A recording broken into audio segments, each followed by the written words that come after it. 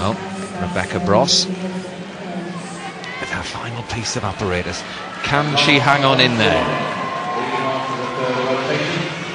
Can she, at 16 years old, win the women's all-around final?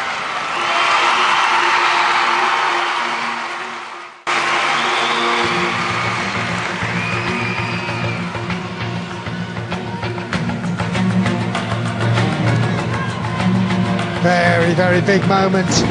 Straight front, double front, beautifully done, bounced out of it indeed. So, that's the way to start. Same aggression, same attack. Two and a half, just beautifully round there. Very sharp in the twisting elements.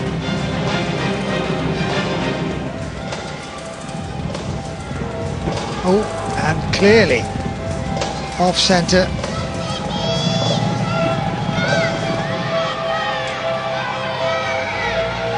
So just that one error, obvious error. The spin.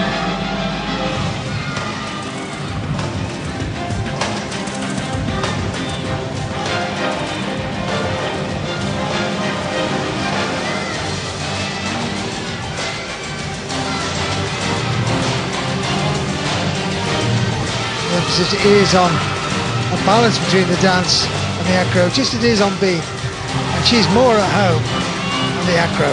Big tumble, she'll feel happier with this if she hits it. Super, oh, she's missed it. Two and a half twist and just lost the rebound.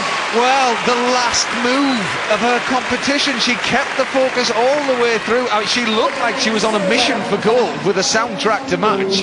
But goodness me, what happened the? Do you think she just just took her eye off at Chris? Or? I don't know. It, she was definitely um, weakening through that routine.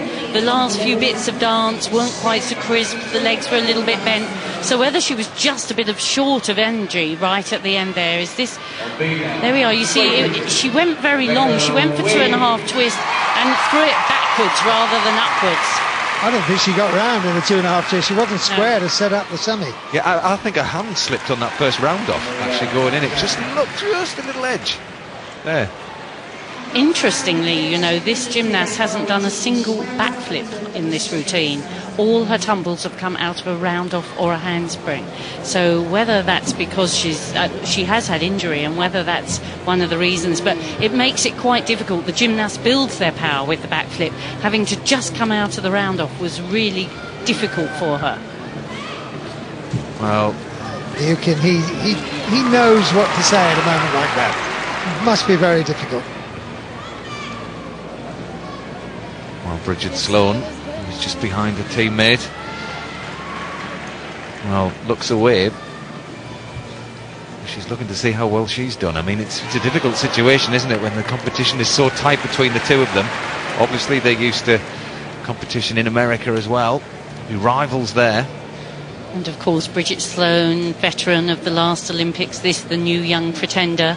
The, she'll be keen to try and keep her at bay. She uh, was probably resigned going into the last piece, Bridget Sloan, to think that she was going to have to take a silver, but now suddenly thinks there might be a glimmer.